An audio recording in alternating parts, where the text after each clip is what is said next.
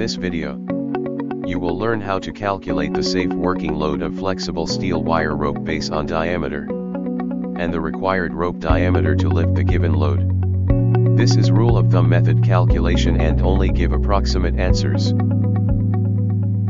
This is the formula. To calculate the safe working load of the given diameter of the flexible steel wire rope. Example number 1. Calculate the safe working load of wire rope diameter 15 mm. Base in the formula given. You can start to calculate the safe working load of the given diameter of wire rope. You can pause the video and try to follow the calculation. Example number 2. In this example, flexible wire rope diameter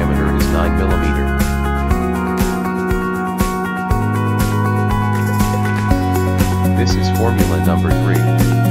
This is to calculate the required diameter of the wire rope based on the given weight. In this example, calculate the required diameter of wire rope to lift the load 2.5 ton or 2,500 kilogram. Based in the given formula, you can start to calculate the required rope diameter.